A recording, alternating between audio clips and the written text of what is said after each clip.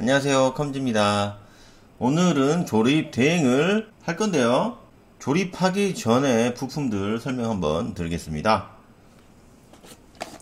CPU는 인텔 13세대 i7 13700K 정품이 들어가고요.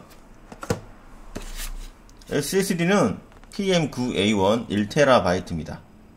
AS는 2년으로 적혀 있네요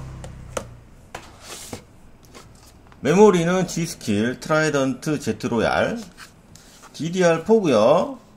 4000짜리고 CL18이네요. 16기가. 메인보드는 MSI Pro Z790A 와이파이 DDR4 모델이고요. 이 보드는 제가 처음 해보는 보드입니다. 그래픽 카드는 Palit RTX 4090입니다. GameRock 버전 보석바죠 이것도 제가 처음 해보는 겁니다. 기대가 됩니다. CPU 쿨러는 NZXT의 Kraken X73입니다. 오우! 와우!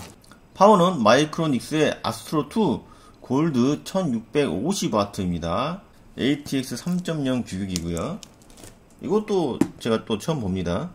새로운 부품들을 조립해 볼 수 있다는 게 조립 대행의 묘미인 것 같습니다. 팬은 ARCTIC P12 PST 5팩짜리가 하나 들어갈 거고요. 케이스는 Lian Li O11 Dynamic XL ROG 버전이 들어갈 거고요. 이 XL도 제가 처음 해보는 겁니다. 이것도 기대가 됩니다. 그럼 조립을 다 해서 완성된 모습을 보여드리도록 하겠습니다. 구독과 좋아요 눌러주세요. 컴퓨터는 이렇게 완성이 됐습니다. 시스템 펜은 하단에 흡기로 3개를 장착했고요. 후면에 배기로 한 개를 장착했습니다. 그리고 나머지 한 개는 CPU 쿨링에 도움이 되도록 측면에 흡기로 장착했습니다. RGB 같은 경우는 전면 LED바와 그래픽카드, 메모리를 MSI의 Mystic Light로 연동을 시켰고요. Kraken은 다른 장치와 연동이 안되기 때문에 CAM으로 조절을 해야 됩니다. 그리고 O11 Dynamic 시리즈에 4000번대 그래픽카드 장착이 가능하냐는 질문이 많은데요. 그 질문에 대한 답을 제가 드리겠습니다. 그래픽카드에 들어있는 이 젠더로는 장착이 안 됩니다. 왜냐면 공간이 너무 없어요. 이렇게 꺾임이 있기 때문에 장착이 되지 않습니다. 마이크로닉스에서 별도로 나온 이 12VH 케이블도 장착이 안 됩니다. 꺾임이 안 돼요. 그런데 Astro 1650W에 들어있는 direct 케이블은 장착이 됩니다. 그리고 Seasonic에 들어있는 direct 케이블도 장착이 될 것 같아요. 이렇게 꺾이지 않는 케이블들은 장착이 안 됩니다. 전면 유리가 안 닫혀요.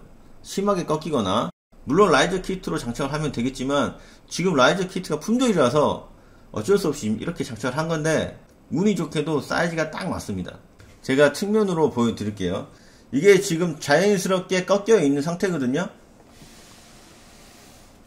유리를 장착해 보겠습니다.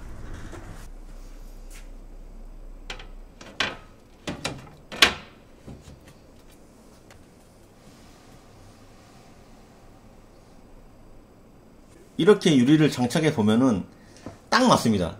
이게 눌리진 않아요. 눌리지 않고 그냥 딱 맞습니다. 문제는 없을 것 같지만 라이저 키트를 추천드립니다.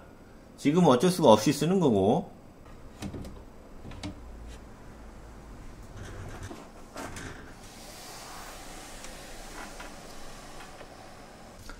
우측면은 이렇게 되어 있고요. 선등이 대충 해도 깔끔하게 보이게 되어 있습니다. 이 판 한번 띄어서 보여드릴게요. 선정류는 이렇게 되어 있고요 특이하게 USB 3.0 포트가 위에도 있고 아래에도 있어요. 그런데 보통 메인보드에는 USB 3.0 포트가 하나밖에 없기 때문에 원하시는 쪽으로 연결해서 사용하시면 될 것 같습니다. 저는 위쪽 포트를 연결해 놨습니다. 그리고 이 하드베이가 좀 특이한데요. 하드베이 자체에 선이 이렇게 달려 있습니다. 이렇게 달려 있어 가지고 하드렛 같이 전원을 킨 상태에서 하드디스크를 뺐다 꽂을 수 있습니다. 핫 수압을 지원합니다. 이 부분이 좀 특이하더라고요. 후면에 공간이 넉넉하고 이런 커버가 있기 때문에 선정기는 막 그렇게 신경 쓰실 필요는 없습니다. 물론 저는 신경을 썼지만